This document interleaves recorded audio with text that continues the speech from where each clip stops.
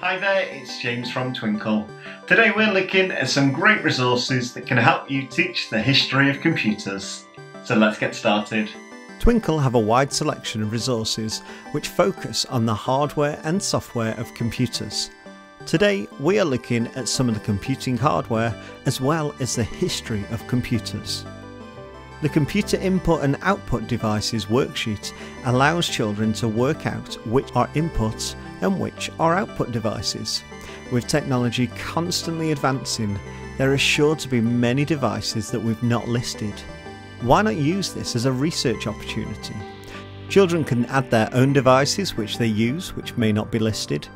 They could also look up input and output devices from past and present Computers have come a long way in the past 70 years. Use this Key Stage 2 History of Computing differentiated worksheet to help children understand some of the key events over the past 70 years, which has advanced technology to what we know today. This worksheet allows children to use their research skills to find out about how computers have changed why not test your children's research skills when looking up the history of computing with this History of Computing quiz differentiated worksheet? Either in pairs or independently, complete the quiz as best they can, and then children can research the unknown questions.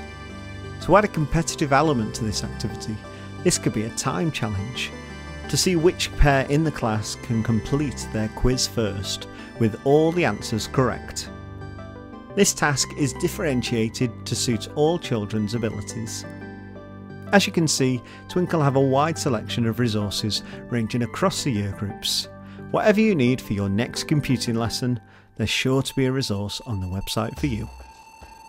I hope this video has helped you with teaching the history of computers. Make sure to like and subscribe for more videos like this.